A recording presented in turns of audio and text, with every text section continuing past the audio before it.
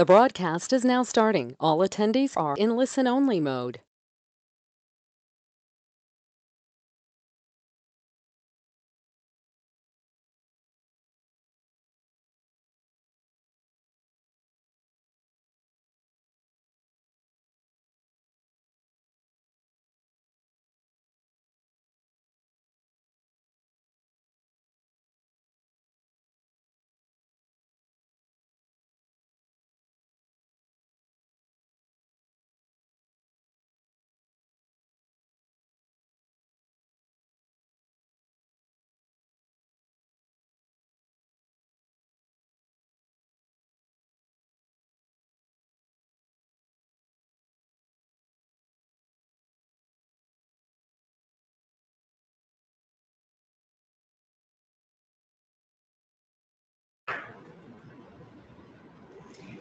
Всем привет! У нас сегодня тема «Продавец приходит дважды». У нас сегодня в гостях а, гость, ну, Светлана. Я ее представлю чуточку позже. Но предварительно а, мы хотим узнать, а, слышно ли нас, видно? Поставьте, пожалуйста, плюсики.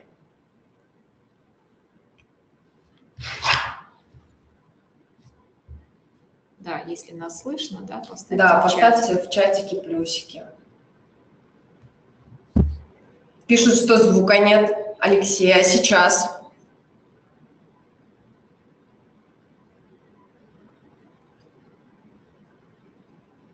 Отлично, отлично. Вижу плюсики. Спасибо вам огромное. Отлично. А, Прежде чем начать, а, хотела бы знать, а, кто нас слушает.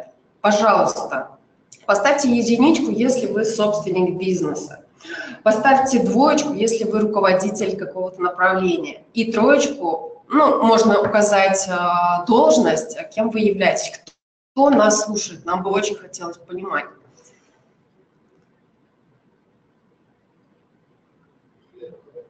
Повторюсь, единичка, если вы собственник. Чат находится справа от вас, а, там можно будет задать вопрос. Вижу, что партнеры, двоечки пошли. Троечка, если у вас какая-то другая должность, там, например, HR или бухгалтер, всякое бывает. Продавец приходит однажды, прекрасно. Ага, отлично. Спасибо, спасибо. И еще один вопрос. А, Нам бы хотелось бы понимать со Светой географию. Вот Света, например, сегодня приехала к нам из Санкт-Петербурга. Да, прямо сегодня. Я из Москвы. А укажите город, откуда вы нас слушаете?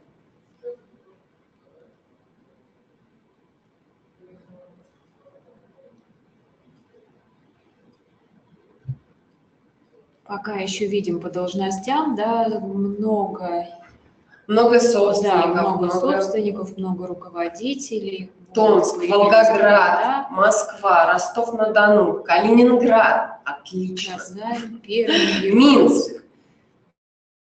Я Пишут, что любят Санкт-Петербург. Да, я вижу. Украина, Иваново, Псков. Новосибирск, Вот, я туда сегодня полечу, в. Новосибирск, кстати, да. Байкал, Ростов-на-Дону. Да, Олег пишет, э, сюда писать. Так, Казань, вижу должность, отлично. Разобрались, Олег. Тольятти. Коллеги, спрашиваете, да, а, что вижу только себя, не видите, что пишут другие участники, да, потому что это в формате вопросов, только мы видим полностью. Ну Вот, ну, а, вы можете только отвечать, да, и общаться с нами. Все вопросы мы в конце, вы можете также писать в чат ваши вопросы. Мы обязательно все озвучим в конце. А, По мере вебинара будем на какие-то отвечать дополнительно. Ну и обязательно на вс- на все вопросы постараемся со Светой ответить. В любом случае в конце будут наши e-mail, на которые вы можете отдельно написать ваш вопрос. Да, Мария, ваши вопросы, ваши ответы видим. Да, Брест тоже видно, Пермь замечательно. Нет. Отлично. Ну, тогда приступим. А, о себе я занимаю, я менеджер по продажам. Больше 13 лет я в коммерции, руковожу различными проектами в компании 1С Bittrex. Ну, я представляюсь из вебинара в вебинар. Я думаю, вам больше будет интересно, а кто такая Света? И, собственно говоря, Света, твой выход. Окей. А, Светлана Русова, директор учебного центра Бестранг. Наша компания является партнером 1С Bittrex э, с 2007 года. У нас, кстати, скоро юбилей, ой, больше даже уже, чем юбилей. Ну, наш договор апрельский у нас скоро 11 лет партнерского договора. Вот. А мы очень давно работаем с компанией Bittrex и знаем продукты ну, тоже, соответственно, изнутри и очень давно. Сейчас основное направление нашей деятельности – это обучение. Мы учим работать со всеми продуктами Bittrex. А у нас отдельно есть а, направление обучения для разработчиков. Тут, кроме Bittrex, мы учим еще работать и с блокчейн-проектами, если вдруг э, думаете да, в этом направлении, можно к нам обращаться по этому поводу. Вот. Но, в принципе, сама прошла путь от программиста, да, начиная там, с самых основ, поэтому если возникают какие-то вопросы, в том числе связанные с технической частью, можно задавать, да, буду рада вам ответить. Я думаю, сейчас мы камеру выключаем, ну и ну, потихонечку, да. презентацию больше. Да. Так, а, вижу еще вопрос, да, Мария, по поводу времени, как долго будет. Ориентируемся час, возможно, чуть больше, а, будет зависеть от того, сколько у нас будет вопросов. То есть сама презентация примерно около часа, дальше будем отвечать на ваши вопросы. Ну, вот где-то час небольшой обычно получается. Итак, а, давайте сегодня поговорим про продажи и о том, как мы можем организовать работу отдела продаж, используя Bittrex 24. И я хочу э, привести такой пример. Э, у нас была история у наших партнеров, да, когда удалось продать э, внедрение Bittrex 24 буквально за 12 минут. Что для этого нам понадобилось сделать? Примерно 6,5 месяцев ушел на подогрев клиента. Что входило в эту операцию, что такое подогрев, да, что уже это происходило. А, в принципе, не было такого навязчивых каких-то звонков, постоянных переписок, каких-то встреч с клиентом. Нет, ничего этого не происходило, но был целый комплекс маркетинговых мероприятий, и они а, постоянно были на виду у клиента, да, то есть клиент э, знал, что такая компания существует, занимает такое-то положение на рынке, а, является экспертами в том-то, том-то, и в итоге примерно через полгода вот э, общения он сам принял решение о том, что да, нужно делать заказ, фактически вся сделка, да, все переговоры ну, состояли примерно за 12 минут. Итак, несколько фактов. Как известно, а, перед покупкой а, ваших товаров клиент контактирует с вашей компанией в среднем 7 раз. То есть 7 – это как минимум, а зачастую даже больше. Это значит, что э, кроме каких-то мимолетных либо повседневных а, привычных маршрутов, да, большинство людей очень сложно принимает решение о том, чтобы что-то купить. Вот, то есть обычно люди ходят, выбирают, сравнивают, да, долго привыкают. И э, было подсчитано, что где-то примерно 7-8 раз э, человек взаимодействует с вашей компанией, и только после этого принимает решение о том, что, в общем-то, он готов покупать именно у вас. Так что это первый факт, который играет такую важную роль, и на что, что нам важно помнить, да, когда мы говорим про то, как автоматизировать, как повысить свои продажи. И, собственно, вся тема нашего вебинара, да, почему продавец приходит дважды. На мой взгляд, дважды это мало даже, да, должно быть как минимум 7-8 раз. Только что приходить, по-моему, не обязательно. Сейчас расскажу, как, а, что можно делать. Итак, а, следующий факт. Клиент становится вашим постоянным клиентом примерно после четвертой покупки. Это причем на уровне нейрофизиологии, нейропсихологии. А, с четвертого повторения у нас формируется уже определенное представление, а, формируется шаблон, как поступать в той или иной ситуации. Соответственно, как только клиент у вас четыре раза сделал заказ, он становится максимально к вам лояльным. И дальше, а, если вы не испортили впечатление вот в эти в первые четыре раза, да, то, соответственно, вы уже становитесь для него родной компанией, которая будет обращаться за повторными покупками. А, и еще один факт, с которым сталкивается большинство компаний, денег на маркетинг нет. Да, а с одной стороны, все говорят о том, что хотим а, развиваться, хотим, чтобы продажи росли, но с другой стороны, когда а, возникает вопрос о том, как распределять бюджет, как правило, всегда находится что-то более приоритетное, да, чем заказать, там, например, публикации о себе, чем поучаствовать в каких-то мероприятиях, еще что-то сделать такое исключительно маркетингового свойства. Если, это, если в общем-то, еще на рекламу а, деньги обычно хватает, да, и, а, люди готовы их тратить, то, по крайней то инвестировать именно в маркетинг уже не очень готовы. Итак. Пишут, что звука нет. Коллеги, давайте, пожалуйста, поставьте плюсы. Есть звук? Слышно? Тагир пишет, что звука нет. Да, вот я вижу, что э, пишут звука нет. Есть, да? То есть это в настройках Тагир? Ну, раз Тагир не слышит, надо ему написать об этом. Вот. Хорошо, сейчас тогда Тагиру отдельно ответим по поводу звука. Ага, ага, спасибо, спасибо. Супер, прекрасно. А, картинка, презентация должна быть видна. Презентация есть? Вот, Алена, вижу вопрос прекрасный про, про рекламу и маркетинг, да, разве не одно и то же? Сейчас уточню, почти одно и то же. Угу. Так, а, вопрос, да, был, прозвучал, а, реклама и маркетинг – это одно и то же. Примерно, вернее как, реклама – это составляющая часть маркетинговой стратегии. А, то есть мало говорить, что мы запустили рекламу, например, в соцсетях, да, либо мы купили где-то там рекламный э, щит поставили, либо мы там а, выкупили какую-то рекламу время в эфире, да, там на радио, либо на видео. Вот, поэтому это, да, это тоже маркетинг, но этого мало. То есть если мы только сделали это, то ну, деньги будут потрачены вот на этот канал, да, они будут, в общем-то, не очень хорошо проинвестированы с точки зрения отдачи. Отдача будет не такая большая, как мы можем добиться, если мы выстроим это именно как стратегию. И моя идея как раз в том, что э, очень важно построить всю работу да, и а, всю нашу продажу именно как стратегию, то есть чтобы это не было каким-то разовым таким действием, что мы раз и что-то совершили.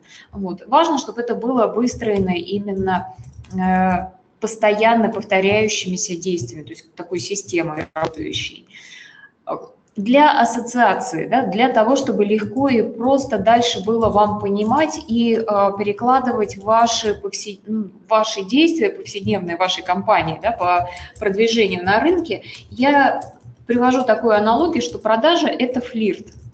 Вы представьте себе, что вы встречаете ну, если девушки, да, там э, очень красивого, замечательного и со всех э, точек зрения интересного мужчину, да, если мужчина, то наоборот, встречайте замечательную девушку, э, и представьте, как будут развиваться ваши отношения. Да, что бы мы там себе не планировали в конце. То есть у каждого будут свои представления о том, чем должны бы в идеале закончиться эти отношения, да, на каком этапе вы все равно а, планируете, да, какие-то есть промежуточные шаги между тем, вот как вы доходите до самого замечательного финала и а, между тем моментом, где вы находитесь сейчас. То есть есть еще какие-то промежуточные шаги. То же самое с продажей. Вот посмотрите на свой процесс продажи, так же, как вот а, клиент, это вот кто-то противоположного пола, да, кого вы встретили и хотите выстроить с ним отношения. Да, а как вы будете, собственно, это делать, как вы будете общаться. Ну, для того, чтобы было нагляднее, я хочу показать стратегию, которую мы у себя называем «семь касаний». Да, помним, что у нас есть факт о том, что через 7 точек взаимодействия с брендом, через 7 касаний у нас только, как правило, клиент доходит до продажи. Как реализовать эти 7 касаний? Что это может быть? Я предлагаю заполнить вам вот такую таблицу, а, причем заполните ее вот именно так, как а, здесь у меня сейчас на экране, как видите. А, возьмите этап вашего сценария продаж. То есть вот у вас появилась новая заявка. Да, с самого-самого начала заявка только-только откуда-то появилась. Э, даже это может быть еще не заявка, а зацепка. Например, вы, э, вот первый самый контакт с клиентом. Что вы делаете для того, чтобы клиент обратил на вас внимание? Э, опять-таки, вспоминаем аналогию, да, если мы хотим кому-то понравиться, что мы делаем для того, чтобы на нас обратили внимание? Да, привлекательная внешность, там, э, интересный контент, да, ну, интересные там, беседы, разговоры, а, выделиться среди других, да, не смешаться при этом с толпой, то есть какие-то, когда мы говорим про встречу и про общение с живыми людьми, это все совершенно а, понятное. Вот, и э, совершенно привычные для большинства вещи. Поэтому здесь мы тогда э, делаем то же самое. То есть мы э, обсуждаем если у нас есть много-много компаний, таких же замечательных, как мы на рынке, да, что нам нужно сделать для того, чтобы э, выделиться как-то и привлечь внимание. То есть самый первый этап, как мы презентуем себя. И посмотрите с этой точки зрения на свою компанию. Достаточно ли она привлекательна, достаточно ли понятно, э, там, название, как с вами связаться, как с вами пообщаться. Следующий этап. Если э, нам важно и интересно перейти к общению дальше, то мы стараемся получить контакт. Да, то есть мы узнаем, где человек бывает, э, там, как зовут, еще что-то. Э, с клиентами то же самое. Мы стараемся получить, захватить его контакт. Дальше начинаем собирать информацию, выяснять, ну, если про людей, да, это, в общем-то, этапы каких-то там, общений, переписок, встреч в общих компаниях, еще что-то. Если мы говорим про клиентов, то здесь, опять-таки, как вы напоминаете клиенту о себе, да, как вы собираете о нем информацию. А, здесь уже, конечно, интереснее, потому что когда мы говорим про клиентов, то у нас тут появляется ну, больше, с одной стороны, больше возможностей чисто технических, да, а с другой стороны, ну, все-таки это обезличенное, как правило, общение еще. Вот, то есть что мы делаем на этом этапе? Мы получили хоть какой-то контакт клиента, мы с ним хоть как-то начали общаться. Что нам делать дальше вот для того, чтобы выстроить с ним хорошие отношения, в итоге дойти до продажи? А потом мы обычно совершаем какой-то небольшой офер, да, что-то предлагаем клиенту, и это маленькая продажа. А часто бывает, что это такая продажа еще без денег, то есть, например, а, убедили клиента установить демо-версию, да, либо убедили клиента пойти на какое-то пробное занятие, если у вас а, там вы продаете обучение, да, либо какие-то тренировки, например, тренинги. А, рассказали, убедили клиента зайти в ваш магазин, да, зайти на ваш сайт. То есть вот самое первое, это, как правило, еще без денег, но это уже подтверждение, что в принципе вы именно этому человеку, этому клиенту, как компания, может быть, можете быть интересны. Дальше мы а, продолжаем собирать информацию и конкретизировать. А здесь уже возникает дополнительные у нас собираются данные о том, чем э, человек больше интересуется, какое направление из нашей работы для него может быть более актуальным. А потом мы выясняем, а, как лучше презентовать ему свои товары, свои продукты, и а, совершаем повторную продажу. Вот здесь у нас уже появляются хотя бы какие-то деньги, да, желательно, то есть пусть купит пробник, пусть он купит там вводную стартовую версию минимальную какую-то тестовую закупку сделает, но все-таки он уже какие-то деньги у вас оставит. И дальше происходит уже, если все хорошо, да, вы как компания а, выполнили свои обязательства, то потом происходит основная продажа, и опять-таки начинается новый цикл, но при этом мы уже не тратим усилия на привлечение клиента, мы совершаем повторные продажи. Вот как только нам удалось 2-3 раза совершить повторную продажу, а, с этого момента можно считать, что клиент к нам, это наш клиент, он стал а, достаточно лояльно к нам относиться. Вот посмотрите, очень важный момент, да, мы до конца вот всей таблицы дошли, и только здесь говорим, что вот сейчас этот клиент становится нашим. До этого момента он еще находится в стадии принятия решений и в любой момент может передумать. Чем смысл этой таблицы еще? Помимо того, что вы прописываете сами этапы, да, как у вас происходит общение, взаимодействие с клиентом, а, важно прописать еще свои действия на каждом этапе. Что вы делаете для того, чтобы познакомиться с клиентом и презентовать себя? И какого результата вы хотите добиться? Для вас знакомство с клиентом – это что? Это заполненная форма, может быть. Это клиент подошел к вам на выставке, представился. Может быть, пришел на ваше мероприятие. А, может быть, взял где-то вашу листовку. То есть подумайте, что именно в вашем случае а, будет а, именно результатом. Да? То есть чего вы хотите добиться.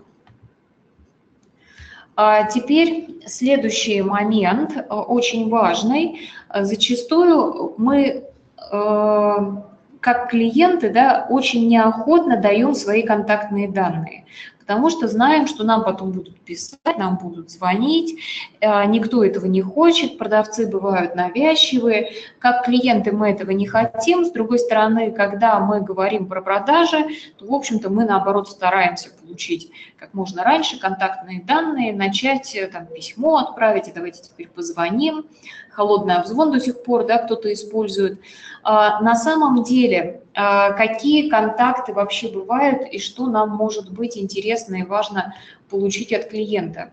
Вот я здесь собрала три вида контактов. Первое – это интересы клиента, что он смотрит, что он читает, на каких сайтах он бывает, какие ссылки кликает, а, какие новости, на какие рассылки он подписан. То есть вот эту информацию, интересы. Нам не важно в данном случае ни имя, ни какие-то еще э, данные о нем, да, там ни телефон, ни email, это все мы узнаем позже, если нам это потребуется. Пока нам достаточно от него просто понимания, что его интересует. А потом вторым шагом мы можем выяснить персональные данные, и третьим шагом мы получаем э, фактически ключи от его жизни, да, это профиль в соцсетях. Как только мы э, знаем, что клиент вступил в нашу группу, например, в какую-то, э, либо заполнил, где-то авторизовался со своим профилем, то фактически мы получаем доступ к его имени, телефону, имейлу, спискам друзей, любимым группам и так далее. Э, до, до сих пор люди не очень хорошо защищают свои аккаунты в соцсетях, и у многих эти, в общем-то, важные вещи а, лежат в открытом доступе.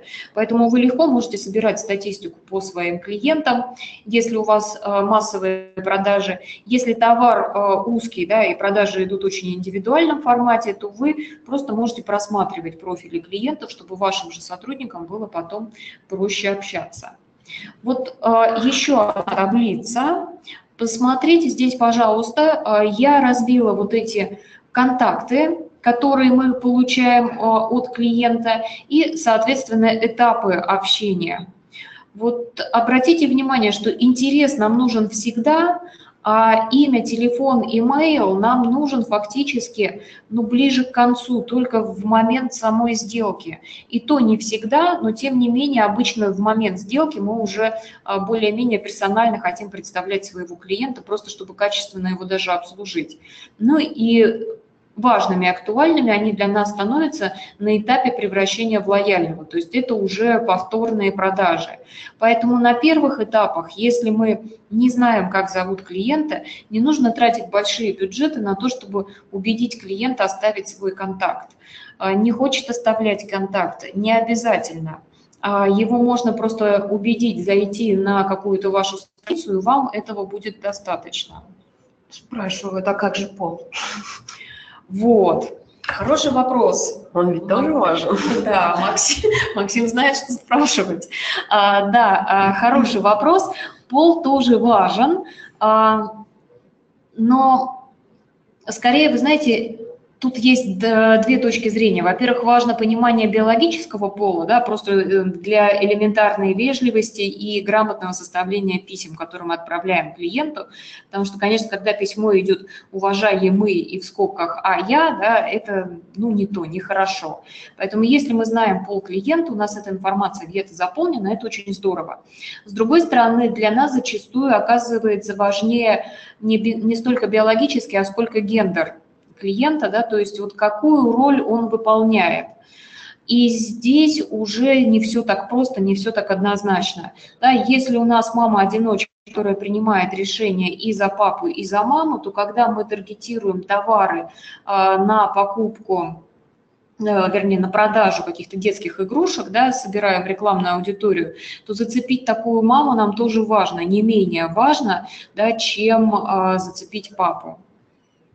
Вот, но да, а, для каких-то ситуаций, там, рассылки на 8 февраля, ой, на 23 февраля и 8 марта, да, это, конечно, очень важно, и я уверена, что клиенты всегда ждут с нетерпением поздравления от э, всех компаний с этими праздниками. Вот. Но на самом деле а, посмотрите сами, да, а, насколько вас радуют вот такие поздравления с этими праздниками от малознакомых брендов. Сейчас э, вот эти все поводы, все праздники, они превратились просто ну, в какой-то такой глобальный инфоповод, когда все, э, все, все подряд начинают делать одно и то же. Все начинают настойчиво поздравлять э, с 8 марта, с 23 февраля, да, это все, ну, причем никто же не подозревает, что это делается лично, да, что там кто-то сидит и от руки выводит вот эти письма, которые потом по электронной почте рассылает. Нет, все понимают, что это делается автоматом, что есть рассылка, которую разделили мальчики направо, девочки налево и отправили два письма. Вот, поэтому э, это не то касание, которое увеличит лояльность вашего клиента. Поэтому, если вы считаете, да, и для вашей аудитории это важно, значит, это важно для, именно для вашей аудитории. Но заводить это как вот общее правило, что обязательно базу сегментировать по половому признаку, вот, то это, э, ну, наверное, не всегда актуально. Так, э, давайте дальше. Да. Три способа зата. Как мы можем получить вот эти контакты клиента? Еще раз подчеркну, что вот очень важный контакт – это просто выявить, что интересует э, человека. Значит, что мы здесь, э, какие способы мы используем? Первое – это таргетированная реклама. То есть мы э, делаем, строим гипотезу о том, что наш клиент – это тот, кто интересуется определенным товаром, да, либо э, заинтересуется какой-то определенной услугой. Мы предполагаем, э, какого он возраста, какого он пола, например, да, и делаем э, рекламный срез, э, заказываем, соответственно, рекламу, допустим, там ВКонтакте, да, либо в какой-то еще системе, там, которая позволяет нам строить вот такие аудитории. И дальше, как только мы сделали эту рекламу, вот э, начинаем сегментировать на самом деле только в этот момент, когда клиенты кликают. Э, сейчас дальше еще покажу, да, как э, вот это работает уже на схеме. Вот смотрите, у нас есть таргетированная реклама. Мы э, делаем рекламу, допустим, в Яндекс Директ по поисковому запросу. Да, э, Предположим, мы продаем пластиковые окна, и мы делаем два запроса про пластиковые окна. Одни а, первый запрос поставить окна в квартире там недорого со скидкой, второй а, остекление коттеджей, да, там загородных домов и так далее. Это два разных сегмента. Поможет нам в этом случае то, что мы знаем, что здесь мужчина, здесь женщина? Нет, не очень. Важнее, что он выберет. Да? Ему нужно поставить одно окно в квартире, либо ему коттедж за городом остеклить. Мы делаем два разных э, запроса. Ну, я имею в виду, мы делаем это, мы, значит, запускаем рекламную кампанию по двум разным запросам. Запустили э, рекламу, сделали под каждый запрос свой лендинг, свою посадочную страницу. На этой странице э, разместили пиксель, либо еще каким-то образом настроили, чтобы те, кто заходит на эту страницу, а, попадали в вашу рекламную аудиторию. И дальше, соответственно, а, все, кто попадают, да, у вас будут делиться на две категории. То есть одни люди, вы их сразу знаете, что их интересует остекление коттеджей, другие люди, вы знаете, что именно эту аудиторию интересуют окна в городе, да, там поставить одно окно в квартире. И вы дальше начинаете уже по этим двум аудиториям, которые у вас появились, показывать разную рекламу. Это первый вариант, как а, коснуться клиента, когда у вас а, нет э, о нем какой-то информации. Да? Мы здесь не знаем ни email, ни телефон. Нам даже не обязательно, чтобы он вот на этом нашем лендинге, на первом шаге что-то заказал. Да? Первым шагом нам достаточно, чтобы он просто туда перешел, мы его уже отметим, что это потенциально наш клиент, и сможем показывать ему а, более направленную рекламу. Второе. Очень часто бывает, что у нас в базе уже есть какой-то список клиентов. Например, у нас есть их имейлы либо телефоны, но мы не знаем, как их связать а, с интернетом. Да? То есть мы не знаем, на какие сайты они ходят, что они смотрят, где им показывать а, рекламу. Свет, тут спрашивают, угу. что есть пиксель, что это такое? А, пиксель, а, большинство рекламных а, компаний, да, рекламных площадок, которые сейчас есть в интернете, предлагают вам взять, у них специальный код, он как счетчик выглядит, да, то есть на сайте там Яндекс Метрику, да, либо какой-то счетчик большинство ставили, взять у них вот этот вот э, код и поставить на свой сайт. Это значит, что когда человек заходит на ваш сайт, он будет отмечаться, что он был на вашем сайте. Вот, и вы сможете уже а, по нему да, давать какую-то определенную рекламу. Вот это и ВКонтакте есть, и Facebook есть такой пиксель, Target Mail.ru то же самое, есть а, Яндекс Директ, да, Google AdWords, то есть во всех рекламных кампаниях, которые вот такие, ну, крупные в интернете есть, они все предлагают поставить такой свой пиксель. Вот, а, поэтому и для нас этот пиксель, да, мы их ставим на разные страницы разные, и, соответственно, а, потом мы а, легко делим клиентов по разным аудиториям. Вот. Второй вариант, да, еще раз, если у нас есть только email клиента, либо телефон. А, для примера недавно слышала кейс, который рассказывали сотрудники из компании ВКонтакте. Небольшая компания, которая занимается шинами нет, шиномонтаж вылетел из головы. Вот, а, шиномонтаж. А, у них э, не очень крупная компания. Что они сделали? Весной собирали телефонные номера своих клиентов, осенью запустили рекламу по этим телефонным номерам. То есть мы, когда заказываем рекламу ВКонтакте, либо в Яндекс аудиториях, э, в Яндекс Директе, мы можем указать, что вот эти телефонные номера являются нашими клиентами. И именно по, на этих людей направить свою рекламную кампанию. Да, то есть не во весь э, ВКонтакте, не на весь белый свет, а только на тех, кого мы уже знаем. И, соответственно, эти люди меняли шины э, весной да, в этой компании, и когда осенью запустили рекламу на них же, у них количество возвратов э, этих клиентов, да, повторных заказов очень сильно выросло. Я не помню точно статистику, но там около 30%, там 27 или 28%, на 27 или 28% выросло количество повторных заказов. Вот как это сделать? То есть у нас есть только имейлы, мы берем эти имейлы, размещаем а, рекламу ВКонтакте, либо в Яндекс.Директ, либо в Facebook. Везде есть такая возможность. Размещаем рекламу на телефонные адреса, таргетируем, либо на имейлы. И показываем какую-то посадочную страницу. Если клиенту интересно, он кликает на объявление, попадает на нашу страницу. Дальше мы уже его опять-таки добавляем в какой-то сегмент да, то есть добавляя в какую-то рекламную аудиторию, но все то же самое через вот этот вот пиксель, про который я рассказывала. Если он на этой нашей странице, да, куда он перешел после того, как кликнул на объявление, оставил э, свой телефон либо email, то мы его еще можем связать и отметить в нашей базе, что его интерес вот такой-то, что он совершил повторный заход на нашу страницу. Вот. Это все можно сделать э, там в автоматическом либо полуавтоматическом режиме режиме.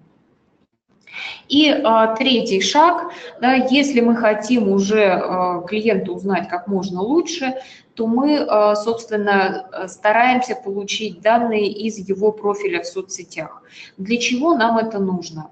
Но когда у нас есть доступы к профилям клиентов, во-первых, мы можем лучше понять портрет своего клиента, то есть мы можем точнее построить а, профиль клиента, да, аватар клиента, как еще иногда называют, типаж.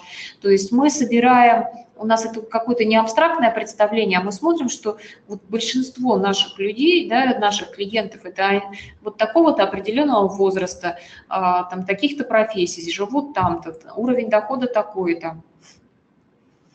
Вот. А по поводу пример, да, вот сюда могу привести. А, у нас есть один из курсов а, про Bittrex 24, кстати, и по моим представлениям туда должны были приходить в основном технические специалисты компании, а, пока мы не стали собирать и более внимательно курс онлайновый, поэтому я там не всегда вижу, не всегда знаю клиентов, ну, кто это. И получилась такая ситуация, что мы стали когда собирать вот более подробную информацию о них, что оказывается основной клиент у нас туда, кто приходили, это э, руководители компаний, которые не сами руками планировали это настроить, а им важно было просто понять, как система работает, чтобы потом поставить задачу сотруднику. Вот. И как раз э, сбор информации дополнительной о клиентах, вот, э, мы, соответственно, смогли да, более точно понять, кто же наш клиент вот именно для этого курса. А, как получить вот этот профиль? А, в соцсетях, я думаю, что вы видели, есть очень много различных тестов, и головоломок, там различных конкурсов и так далее. Там, где вас просят, что а, для того, чтобы узнать свою судьбу, да, нажмите там куда-то, авторизуйтесь э, при помощи там Facebook либо ВКонтакте. Вы авторизуетесь, соответственно, вам там пишут, какая, что вас ждет. Вот. Но э, это не всегда какая-то определенная компания да, заказывает такие исследования. Иногда это просто кто-то собирает статистику, поэтому тут ну, рекомендация просто будьте аккуратны, проходя такие тесты. Вот. А с другой стороны, э, когда компания это проводит, да, мы можем делать более интересные какие-то формы взаимодействия, то есть предлагать клиентам какие-то интересные и э, связанные с нашей именно непосредственной деятельностью э, примеры да, активности в соцсетях, когда они с удовольствием будут делиться информацией и э, заходить на ваши страницы через свои профили. Вот, то есть профиль в соцсетях нам нужен для того, чтобы мы узнали, во-первых, лучше клиенты смогли э, построить статистику. И еще важный момент, вот у меня здесь последний пункт э, на слайде, это пример для э, рекламы ВКонтакте. Есть такой сервис, например, Cerebro Target. Он не единственный, можно посмотреть, довольно много аналогов есть. Когда вы можете зная, да, что вот эти люди интересуются вашими товарами, попросить, ну, задать определенный список этих э, профилей тех, кто интересуется вашими товарами, и сервис будет подбирать вам подходящих. Тех, кто состоит, похожих, вернее, тех, кто состоит в таких же группах, тех, у кого такие же интересы, вам проще потом будет давать на них рекламу. Поэтому чем лучше вы знаете ваших клиентов, да, тем лучше для вас. А, все это для чего мы все это собираем, для чего все мы, все мы это делаем. Для того, чтобы в рекламах, э, в наших рекламных объявлениях и э, в наших рекламных кампаниях да, использовать максимально контент-маркетинг. А что здесь э, имеется в виду? Мы выстраиваем единую цепочку общения и взаимодействия с клиентом. А, то есть то, что мы пишем клиенту на сайте, мы то же самое повторяем в рекламе, а, все то же самое есть в наших сообществах, есть в рассылках, да, и то же самое говорят наши сотрудники. Это очень важная история, а, выдержать единый стиль коммуникации, единую стратегию общения, когда мы говорим, например, вот есть сайт, на сайте у нас да, мы предлагаем, например, а, там, морские путешествия, и у нас реклама об этом же, у нас сообщество, мы тоже там вешаем эти анонсы и об этом говорим. А, наши email рассылки тоже идут и рассказывают про путешествия, да, и наши сотрудники в курсе того, что у нас сейчас акция, в курсе того, что у нас путешествие, вот, то есть мы э, говорим об этом во всех каналах.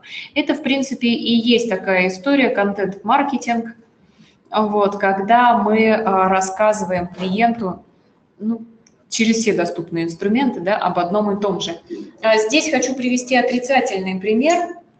Не так давно э, я искала а, путевку в пионерский лагерь, да, не пионерский, сейчас детский лагерь отдыха для своей дочки.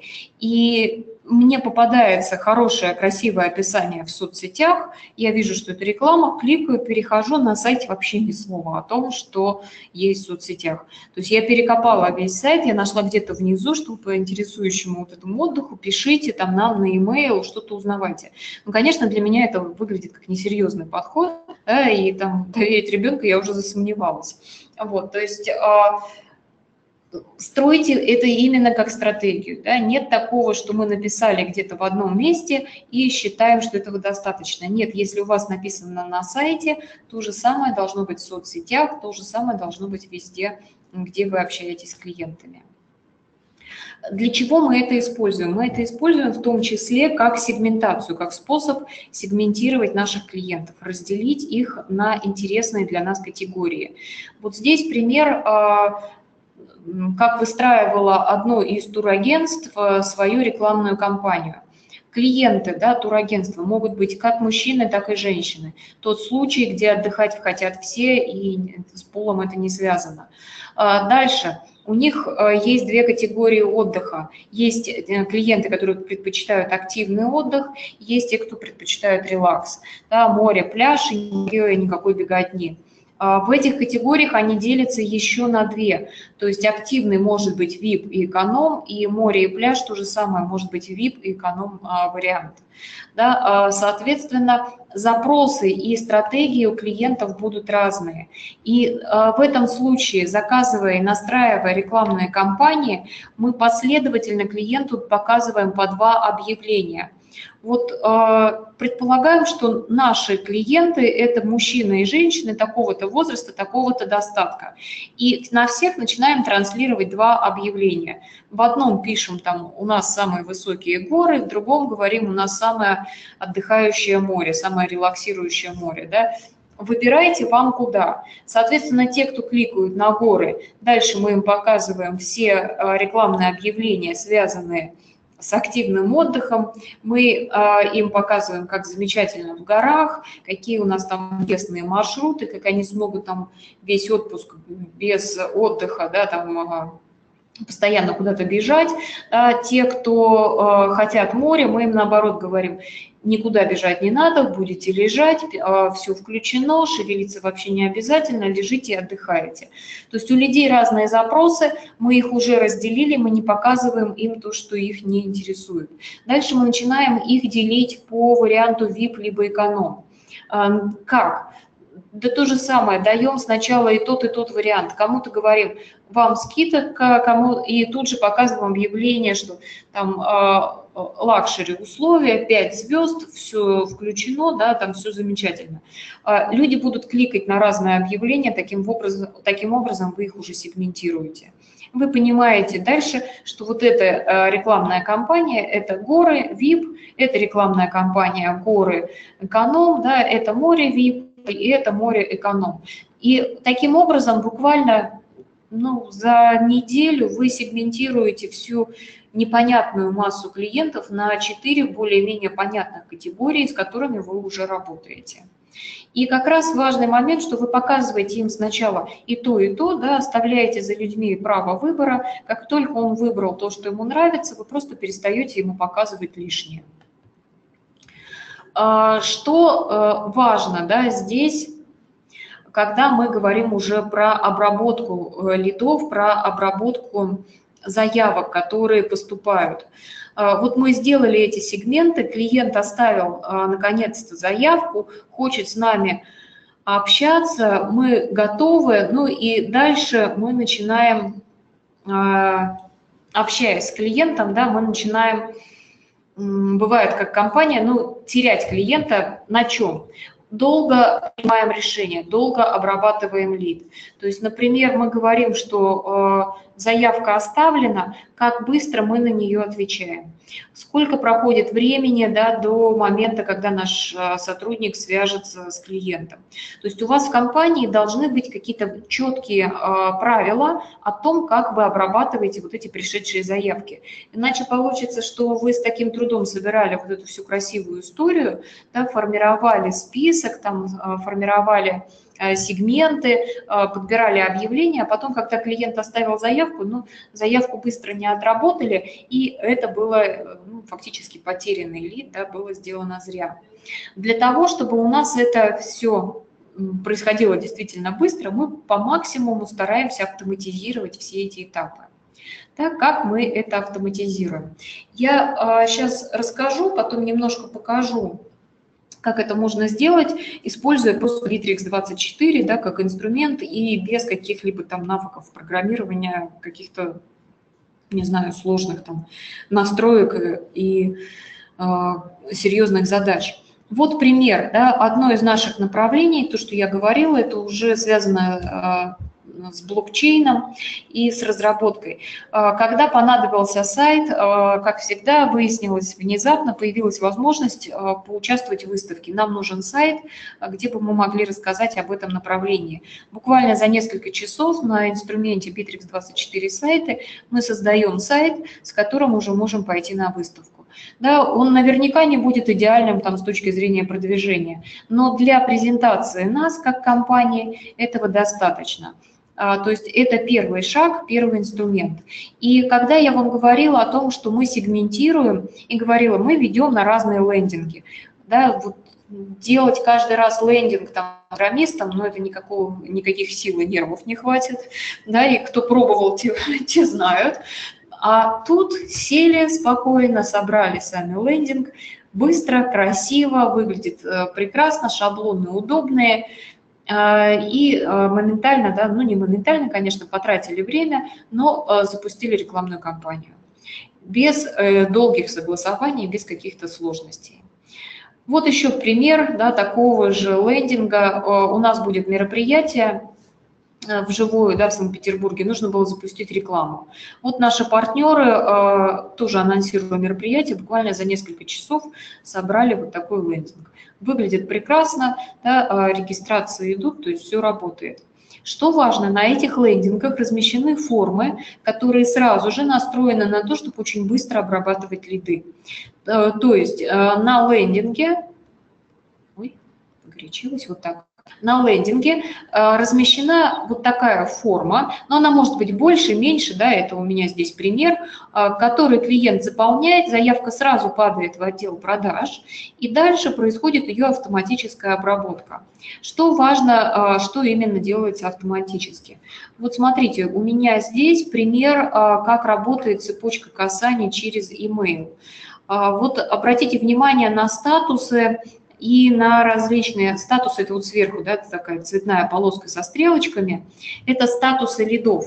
Если у меня лид э, заполнил форму, что он хочет на вебинар, он попадает в статус, что его нужно пригласить на вебинар.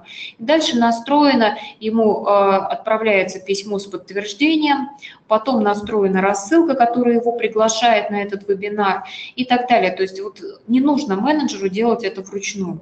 Когда вебинар прошел, э, менеджер смотрит, все, кто были на вебинаре, переводит в одну категорию, тех, кто не был на вебинаре, переводит на стадию повторное приглашение. И, соответственно, когда будет следующий вебинар по этой же тематике, да, им будет опять отправлено приглашение. Если клиент э, заинтересовался какими-то демо-доступами, демо-материалами. Он тоже заполняет форму, ему в ответ приходит ссылка на скачивание, и вот здесь, смотрите, через один день, да, вот мы смотрим посередине столбик а, с, зелен... О, господи, с желтым заголовком, отправлен захват, да, то есть ему сначала клиенту уходит ссылка на скачивание, все автоматически делается. И через день ему автоматически приходит приглашение на ближайший вебинар по его тематике. Как только он а, заполнил форму, да, что он хочет на вебинар, он попадает вот в эту категорию, и мы дальше работаем с ним уже как а, с тем, кто пришел на вебинар. Ну и дальше а, есть еще живые мероприятия, да, куда мы точно так же решаем, вот, и так далее. То есть лид, который заинтересовался нашими товарами, нашими услугами, не остается без внимания. Вы на каждом этапе просто подумайте, что вам как клиенту было бы важно получить, хотелось бы узнать о компании. И а, посмотрите, что вы из этого можете автоматизировать. Если клиент вам пишет, можете а, в ответ отправить там хотя бы примерную презентацию и контакты а, вашего менеджера. Да, либо если у вас действительно уникальный да, каждый клиент, каждый запрос, ну хоть что-то вы можете ему отправить сразу, да, какой-то автоматический ответ. Не можете, значит назначьте на сотрудника и соответственно, у сотрудника тогда возникает задача ответить клиенту. И вот здесь, да, я говорила, что, ну вот если вернуться на предыдущий шаг, что вот мы а, собираем, приглашаем на вебинар, да, либо вот на живое мероприятие, и дальше работает рассылка. А вот пример, как может выглядеть рассылка. Выбрали определенную группу получателей. Это те, а, вот в данном примере, это те, кто хотели на мероприятие блокчейн, вот это зарегистрироваться, и, соответственно, а, им всем отправили письмо. Когда мы им отправили письмо, а, кто-то из них перешел дальше на какие-то страницы нашего сайта, да, кто-то проигнорировал письмо. Ну, все понятно, для кого-то актуально, для кого-то нет, но тем не менее мы очень легко и быстро из одной и той же системы можем взаимодействовать с клиентами. И потом в карточке каждого клиента мы видим, что ему была отправлена рассылка. Да, когда он, например, придет на мероприятие и а, пообщается с нами вживую, мы уже потом сможем восстановить всю нашу историю общения до этого момента. И а, еще один покажу пример, вот то, что а, спрашивали про пиксель. Да, сейчас. А, вот смотрите, в роботах CRM, да, а, да, в лидах, точно, ну, вернее, в лидах и в сделках, но я сейчас здесь рассказываю про лиды, а, есть такая возможность, вот смотрите, в Bittrex24 CRM роботы, настраиваем роботы, мы можем установить рекламу. То есть, как только мы добавляем лид на наш сайт, мы можем его сразу добавлять в какую-то определенную аудиторию рекламную аудиторию. Это даже безо всяких пикселей мы можем делать, то есть просто а, создаем а, заранее, например, в Facebook несколько рекламных аудиторий, Потом а, на своем Bittrex24 заходим в раздел CRM и настраиваем, что когда у нас пользователь заполнил какую-то определенную CRM-форму, мы начинаем показывать ему какую-то рекламу. То есть сказал, что он интересуется активным отдыхом да, а, по бюджетному варианту, и мы его добавляем в рекламу на Facebook, там, где мы поддерживаем вот это его желание а, поехать в отпуск э, в горы за недорого. Да, получается, у нас клиенты сразу просто через а, стандартные существующие инструменты, да, мы их сегментируем. То есть вот вся эта стратегия, которую я показывала, она прекрасно реализуется через Bittrex24. А, следующий шаг, как это для продвинутых, а, когда мы вот эту историю освоили с линейными, то есть попал сюда, мы ему показываем какую-то определенную рекламу. А, мы можем запускать более сложные системы автоматизации воронки продаж. Ну вот у нас, например, Э, на курсах для разработчиков есть несколько направлений, и э, там используются разные формы, э, стадии похожие, письма, материалы и сами рассылки, количество писем, они очень разные. Поэтому у нас это используются уже не роботы, роботов здесь будет недостаточно, используются бизнес-процессы. В бизнес-процессах настроено, что, например, если клиент у нас есть такой курс для разработчиков, стажировка называется, э, там, где люди получают практические задания, да, и их потом контролирует э, преподаватель. Вот чтобы попасть на этот курс, нужно предварительно пройти тестирование. И многие заполняют э, заявку на тестирование, а потом кто-то проходит, кто-то не проходит. В общем, есть варианты, как, как говорится. Поэтому вот у нас вот эта история со стажировкой – попадает в отдельную ветку. И мы здесь первым письмом просто отправляем письмо, да, что там спасибо, вот э, ссылка, проходите тесты. Потом мы отправляем повторное письмо, потом, если клиент не заполнил да, до сих пор тесты, а, то мы отправляем ему через 4 дня еще одно письмо что с напоминанием, и дальше записываем информацию о результатах в отчет. И по этой информации я тут дальше не показываю, но там идет тоже еще вот такое ветвление. То есть мы всю нашу стратегию сначала продумали, что мы хотим, да, как мы хотим, чтобы это все работало, а потом перенесли а, в бизнес-процесс в инструменты. Главное понять, э, в голове уложить вот эту стратегию, в инструменты перенести проще, чем придумать. А, давайте теперь покажу немножко это на примерах. на примерах я покажу... Сейчас.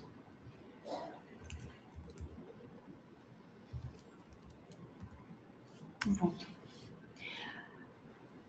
Покажу сейчас небольшой кусочек, как а, создать форму и а, как а, добавить, соответственно, потом по ней сделать по ней рассылку, да, то есть как мы можем с этим работать. Вот смотрите, заходим в Bittrex24, раздел CRM, еще, еще, кликаем CRM формы, открываются формы. Здесь, во-первых, появляется э, сообщение, предупреждение по поводу персональных данных. Это очень важно. Э, пожалуйста, когда будете делать, обязательно прочитайте, обратите внимание, заполните все, что здесь сказано. Это действительно очень важная актуальная информация. Э, у меня настроено, поэтому я сейчас уже кликаю, что спасибо. И дальше создаю форму. Например, у меня форма будет ну, давайте я коротко сделаю. Регистрация на вебинар. Назовем ее бесплатный вебинар для разработчиков. Ну, пусть будет просто для разработчиков. Вот. Описание формы, то есть я могу здесь написать вебинар состоится, состоится 1 апреля 12.00. Приходите. Конечно, в реальности да, там будет какой-то более красивый текст. А дальше я хочу, чтобы те, кто заполняют эту форму, а, становились у меня в системе лидами, потому что для меня это новые клиенты, я хочу а, их видеть в отдельном списке. Что мне важно знать про каждого клиента? Имя, да, возможно, фамилию, ну, вот я даже не буду спрашивать фамилию, мне она сейчас не нужна, я уберу это поле. А, имя мне нужно и email для того, чтобы я могла пригласить на вебинар. Да, то есть вот моя стратегия дальше работы с лидами подразумевает, что я отправляю всем письмо со ссылкой на вебинар. И в письме я обращаюсь там «Здравствуйте» по имени, да, «Здравствуйте, Иван», например. И, соответственно, все, что мне нужно, знать имя и email. Все остальное не настаиваю, можете не указывать. Дальше я указываю, кто будет ответственным за форму. А, важный да, для меня, как для человека, который хочет отследить, а, куда идут инвестиции в рекламу, обязательно ставлю счетчики метрики. Да, я обязательно ставлю идентификатор, настраиваю все, чтобы я видела все результаты, что куда приходит. Вот, ставлю, что показать при заполнении формы пункт согласия, да, выбираю ну, стандартное согласие. Вот, и сохраню. А в реальности вы сможете делать, конечно, все настройки, которые вам нужны. Да, я сейчас сделаю простой пример. Вот у меня появилась форма, у нее есть публичная ссылка. А, я включаю эту форму. А, могу клиентам давать ссылку прямо сюда, могу разместить ее на сайте. Ну, давайте сейчас для теста, да, я делаю прямо здесь, указываю свое имя, вот, указываю email.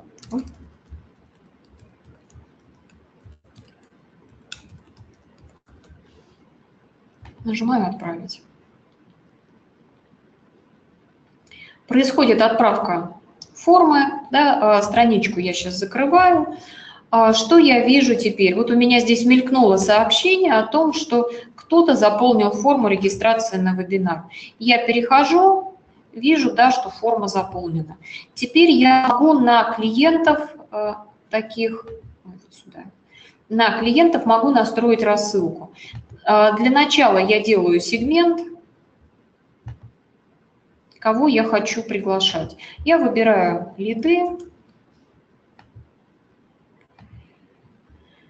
Так, выбираю здесь, что меня интересуют те, э, кто заполнил форму.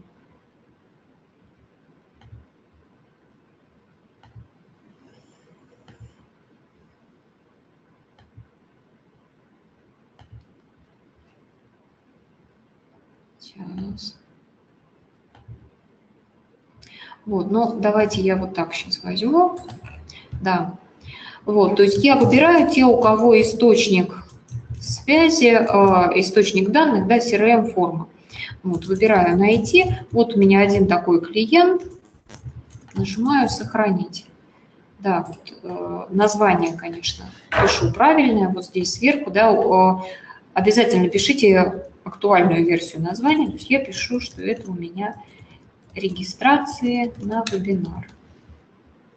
Сохранить. Теперь следующим шагом я делаю рассылку. Здесь я могу начать с e-mail рассылки. И что я хочу а, сделать? Да, я хочу, а, чтобы клиент, ну, допустим, там а, пришел да, на вебинар. Вот у меня есть лид, мне нужно его превратить в посетителя вебинара. Я выбираю рассылку, которую можно взять за основу, выбираю сегмент, из моих сегментов регистрации на вебинар. Если мне нужно, добавляю исключения. Вот. Ну и дальше здесь пишу хороший текст рассылки. А смотрите, вот те тексты, которые есть стандартные, конечно, они не идеальные, но они сдают правильное направление. Да, то есть мы, когда выбираем, а, что мы хотим превратить лид в клиента, а, о чем нужно бы написать. Да, что вы чуть не стали нашим клиентом, но что-то остановило, давайте э, с этим что-то делать, да, давайте вы все-таки станете нашим клиентом. Вот, и какой-то бонус а, за то, что человек станет вашим клиентом. То есть здесь а, пишем приглашение на вебинар, да, а, в моем случае, ну, я напишу просто сейчас «приходите на вебинар», будет очень интересно. Конечно, в реальности мы а, выстраиваем эти тексты также. А, у нас идет в одном а, стиле текст на форме, текст, который идет в письме, ну и о чем, собственно, идет речь на вебинаре. Сохраняем. Вот у нас готова рассылка. И я могу сейчас сразу же рассылку эту отправить. Вот, но у меня рассылка это прям грандиозная по целому одному имейлу, да, она очень быстро ушла, и дальше я могу посмотреть по ней статистику. Вот, но тут пока рассылка неэффективна, потому что э, тот единственный получатель, которому она была отправлена, до сих пор не прочитал это письмо, да, ну, допустим, когда прочитает, э, мы будем видеть информацию сколько было прочитано писем, мы будем видеть, сколько было переходов, и э, если люди кликали по элементам в нашем письме, да, мы в карте кликов будем видеть э, также об этом информацию. То есть на какие кнопки, на что, э, на какие призывы наши да, люди лучше всего реагируют. Вот, а, собственно, мы сделали рассылку, да, получили информацию. Ну вот, а, получили информацию о том, как люди с ней взаимодействуют, и, в принципе, можем дальше уже после вебинара а, работая опять-таки уже CRM, да, мы видим вот эти лиды и, допустим, меняем статус, что тот, кто был на вебинаре. Но для этого нам нужно заранее создать соответствующий статус лида, например. Да, это вы уже продумываете, вот, когда делаете сценарий и этапы продажи. Вы продумываете, какие у вас этапы взаимодействия с клиентом есть. И устанавливаете из этих этапов, соответственно, статусы для лидов. Ну и после того, как сделали рассылку, клиент выполнил действие в рассылке, ссылки, вы его переводите на следующий статус. Собственно, коллеги, наверное, вот что хотела да, поделиться, поделилась моя, передаю. Да, я переключаю экран сейчас. А, Света рассказала про рассылку, а я хотела бы так, скажем так, оживить слегка аудиторию. А, напишите мне пару а, номеров в телефонах. Я хотела бы вам рассказать про модуль смс-рассылок. Например, мы его используем, если нужно пригласить кого-то на очень важное мероприятие или вебинар, или напомнить, скажем так, а, о данном событии. Просто мне надоело отправлять смс только себе. А, я обещаю, что не буду использовать э, ваши телефонные номера а, в других каких-то целях. Чисто просто хочу знать, получили ли вы от меня смс сейчас. Так что укажите, пожалуйста, ваш номер телефона. Я сразу же отправлю вам смс. Смотрите, пока вы пишете номера, ну, надеюсь, вы напишете, а я показываю, как это работает. Ага, Сразу скажу, возьму несколько. Итак, а, вы заходите также, также себе на портал Bittrex24, выбираете, например, нужное приложение, то есть в данном случае заходите в приложение, из маркетплейса выбираете любой модуль, а, пока загружается. А, выбираете категорию, в данном случае а, CRM, роботы, SMS. Вам предоставляются различные решения от наших партнеров. У нас уже установлен модуль SMS для бизнеса, да, а, вы заполняете определенные данные, заявку, все, что требует, допустим, данный модуль или данный поставщик услуг, и дальше устанавливаете, получаете аккаунт и заходите в CRM-маркетинг. И как это работает? Открываем, Выбирайте любой представленный вам, понравившийся вам шаблон. В данном случае я выбираю вот этот вот. Выбираю э, сегмент,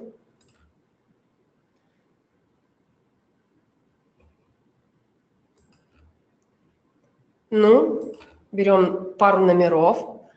Пусть это будет сюрпризом.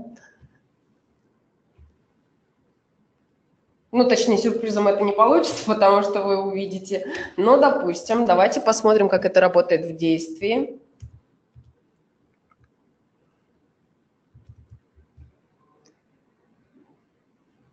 Какой сложный номер? 6, 9, 0, 6, 5, 8, 6.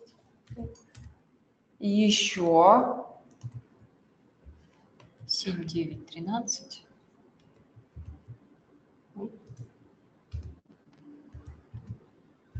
Четыре нуля. Ой, нет, 9, 13, 9, 4 нуля, 8, 0, 3. Нет, подожди, 3 нуля. 3? Да, 8, 0, 3. Ну, давайте еще один. Еще один. 7, 9, 3, 7. 7, 9. 7, 0, 1. 9, 2. 2, 1. Итак, загружаем. Дальше а, сохраняем. То есть это наша база. Выбираем поставщика. Как я уже сказала, у нас провайдер SMS для бизнеса. А, пишем текст, который вы, допустим, пишете вашим коллегам или вашим партнерам, кому вы хотите напомнить, собственно говоря, о том, что у вас состоится там то или иное мероприятие.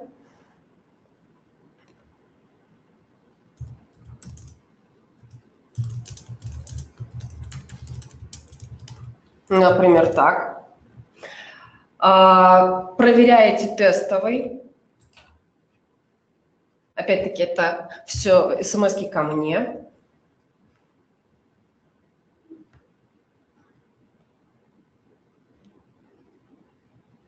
Ну. Идет.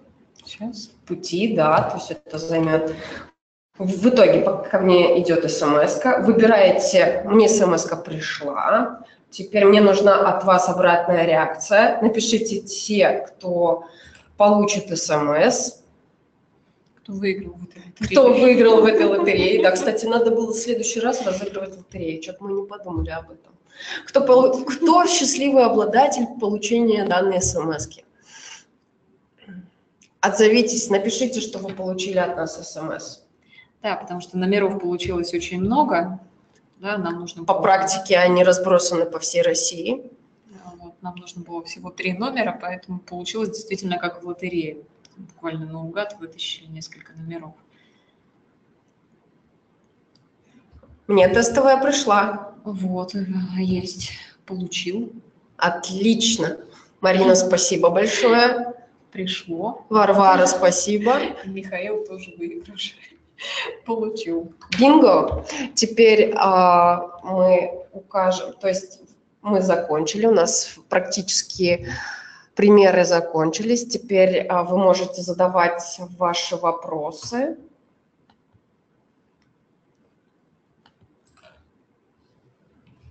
И мы с радостью со Светой на них ответим. Ну вот пришло уточнение, да, что смс пришла прям мгновенно. Ну, там, да, несколько буквально. Это мы, допустим, данный сервис э, используем, если, например, нужно, а, чтобы те, кто зарегистрировались, обязательно пришли и не пропустили. То есть э, способы применения различные. Это все зависит от того, какая у вас сфера деятельности, да, как это применимо к вашему бизнесу, пожалуйста. Но это работает. Вы также можете выбрать любого поставщика в зависимости от того, с кем вам удобнее, комфортнее работать. То есть и самое, что интересно, это работает быстро, не нужно какие-то там дополнительные настройки выполнять или обращаться к специалистам. Вы можете это сделать самостоятельно. Мы вам показали, что не требуются какие-то сверхзнания. Вы просто настраиваете, э, настраиваете, скажем так, модуль, э, делите вашу базу, сегментируете и уже сами решаете, кого и как вы оповещаете. И о чем, собственно говоря. Да, и тут еще важный момент, да, когда вы заключаете договор с провайдером, просто вижу вопросы, как обычно возникают, о том, что Роскомнадзор, да, как не попасть в спам и так далее. Вот, вот это как раз а, решается ну, тем, что вы просто при заключении договора с провайдером а, вы указываете документы о себе, информацию, вот, поэтому это не будет похоже на спам. Так, по вопросам я вижу, запись будет. Да, запись будет, я уже отвечала. А, контакты сейчас укажу, я что-то... А, Мария спрашивает, как настроить напоминание о каком-либо действии, следом или контактом. А, Мария, если вручную, да, то после того, как мы поговорили с клиентом, пообщался наш менеджер, он может просто сразу запланировать себе дело. Если настроены бизнес-процессы, либо роботы, то мы это делаем а, в роботе, ставим, например, что там следующее действие, да, там есть такое действие пауза, ставим паузу на нужное количество дней, потом ставим нужное действие. Это будет напоминалкой. Там, там э, нет такого понятия напоминания, есть запланировать дело. То есть ну, вам же нужно не вспомнить о клиенте, а, а что-то сделать. Да? То есть вам там позвонить, либо написать. И вы, соответственно, ставите себе там а, перезвонить через месяц, да, и просто планируете звонок а, на месяц вперед. При email рассылке какой email используется? Свой от Яндекса можно? Да, вы можете указывать свой email, а там будут нюансы с тем, что в зависимости от того, чей email, да, то есть вот если это Яндекса, а, могут потребоваться некоторые настройки на стороне Яндекса. В документации это все описано если вдруг там сходу не заработало, я скажу, что мы э, настраивали, но у нас, правда, не Яндекс, у нас Gmail, и мне не потребовалось там особо что-то менять, вот у нас и так заработало. Спрашивают, запись будет? Да, запись будет обязательно. Мы отправляем э, всем тем, кто пришел на вебинар. Плюс у нас есть специальный сайт Академии продаж, на котором мы показываем все прошедшие вебинары, то есть все записи мы сохраняем и все отправляем, все будет. Спрашивают лимиты по рассылкам смс. Ну, лимиты в базе, ну, нет. А СМС это, условно говоря, ваша база. То есть те, кто дали добро на получение от вас информации добровольной, то да, вы имеете право отправлять им. Да, а, там бывает еще иногда, что от, От провайдера, да. Да. Вот, например, у нас есть модуль а, sms.ru, по-моему, я когда устанавливала, у него есть а, в тестовой версии бесплатно 5 смс в день. Мгм. То есть я пробовала, да, они работают, вы можете 5 смс отправить. Если вам, конечно, нужно для бизнеса в более серьезных масштабах, это платная версия, вы оплачиваете определенный тариф, и, исполь- ну, или пакет, и используете в зависимости от провайдера. Ну, тут, конечно, да, то есть зависит от тарифа, да, сколько. А, Нет технических ограничений от Bittrex, это скорее... Да, это просто я показывала пример того, готовый, скажем так, модуль, а, который уже согласован. То есть там нужно отправить заявочку, за- отправить все документы. А, То есть, в общем, тратила деньги компании. СМС-рассылку можно использовать только для номеров, которые добровольно их предоставили. Да. Да, у вас должно быть согласие от клиента на получение от вас СМС. Ну, это чисто... Либо зак- вы в документах да, прописываете, что он информирован о том, что вы будете отправлять ему СМС, да, там предусматриваете как СМС-уведомление. Должно Да, если, согла- если клиент согласен, только так. Да, пожалуйста. Тут нас благодарят. Ну, собственно говоря, если есть еще так видео, еще вопросы, ссылка на презентацию будет, все будем отправлять. А, так, вопросы. Ну, есть еще опять вопрос про запись, да, только что рассказали, где можно будет найти запись. А, По поводу лимитов, э, например, если мы говорим о лимиты по email, да, там есть изначально ограничения по количеству писем, которые вы можете отправлять. А, Там, по-моему, тысяча писем сначала, но если ваша аудитория хорошо реагирует на ваши письма, то есть нет жалоб на то, что вы спамер, то вам этот лимит постепенно увеличивают. Ну, То есть э, отправили на тысячу, да, если там жалоб нет, на следующий день у нас, например, уже было, там, по-моему, полторы тысячи писем. Вот, и как-то очень быстро вот эти лимиты увеличились, ну, потому что база своя, действительно, да, то есть ну, это не спамерская, поэтому э, хорошо работает. А, так, Майя. Да, я уже прошу прощения, да, я ошиблась. Я решила удвоить зону. Да, увлеклась. Увлеклась. Так, на рассылку по мессенджерам тоже надо получать согласие. Варвара, ну по э, законодательству российскому на любое взаимодействие с клиентом, это считается обработка персональных данных, а вам нужно иметь его согласие. Как только вы с, э, начинаете общаться с клиентом, да, и это в каком-то идет автоматизированном таком режиме, у вас должно быть согласие. А Поэтому это, как правило, либо какая-то рассылка, либо он где-то регистрировался, но у него тогда должна быть возможность отписаться, отказаться от вашей рассылки. И если в имейлах это решается просто, да, то отписаться от смс он не может, поэтому за этим следят строже, соответственно, здесь важно, чтобы у вас было его согласие. Тут спрашивают, интересует методика создания карты мероприятий на повторной продаже, вторичной продаже? Или как эту карту автоматизировать? То есть вот Алексей, а что по методике интересует? Методик несколько, поэтому можно вот э, что больше интересует, да, я, может, тогда как-то точнее отвечу. В целом, ну вот один из вариантов, и я вам показывала сегодня, да, это самый простой, мы берем и составляем таблицу, то есть у нас есть сценарий продажи, у нас есть результат, который мы хотим, на каждом этапе, и у нас, соответственно, есть промежуточные действия. И мы смотрим, какие из этих действий обязательно требуют участия человека, какие не требуют. Важно следить здесь, чтобы у нас было семь каких-то промежуточных моментов взаимодействия между первым знакомством и продажей, да, но вернее, что если их там будет 7, вероятность того, что продажа будет успешной, выше. Если вы участвуете в выставках, расскажите клиентам, что мы завтра на выставке, подходите, может, вы давно хотели у нас о чем-то спросить. Если вы проводите мероприятие, ну то же самое, расскажите об этом. Если вы каких-то таких глобальных действий не делаете, ну хотя бы э, заведите, допустим, страницу в соцсетях, да, и там э, информируйте, общайтесь, отвечайте на вопросы. Это уже будет тоже как карта мероприятий. Но в целом самая простая методика, берем таблицу, делаем этапы, результаты, ними действия. Потом выбираем те действия, которые без ущерба для качества можно доверить не роботу, ой, наоборот, не человеку, а роботу. Вот Алексей уже уточнял работу с существующими клиентами. А с существующими клиентами то же самое. Делим, на сегменты для того, чтобы понять, ну, тут важно еще понять жизненный цикл клиента, то есть как давно он с вами, на какой он стадии сейчас. Важно разделить клиентов по э, этому признаку.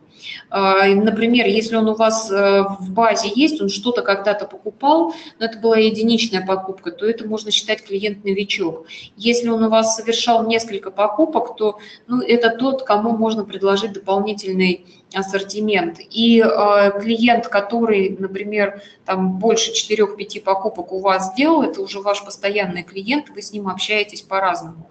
Вот, то есть в любой методике, когда мы говорим про общение с существующими клиентами, самое главное правильно их сегментировать.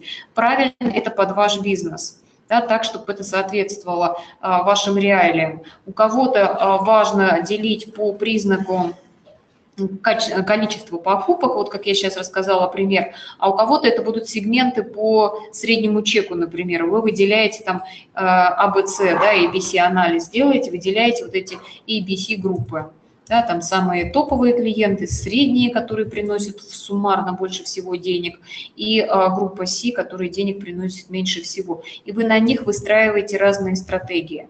То есть если мы говорим про существующих, то тут важно правильно их сегментировать, и тогда, как правило, а, что предложить, когда понятно, кто это, да, уже проще. Так, а, про бесплатную версию спрашивают, на бесплатной версии Bittrex 24. Там можно создать можно сайт. подключить свой домен. Насчет домена. И мы уточним это. Насколько я знаю, сейчас пока нельзя, но обещали да. позже, что будет можно. Ну, у нас а, первые обновления будут ближе к лету. Ну, то есть, то есть это, да, либо апрель, май, то есть угу. ближе июнь, то есть вот так. То есть прямо сейчас бесплатной версии так нельзя, но обещали э, где-то конец мая, да, то есть ближе к лету, да, что в каком-то из обновлений такая возможность появится.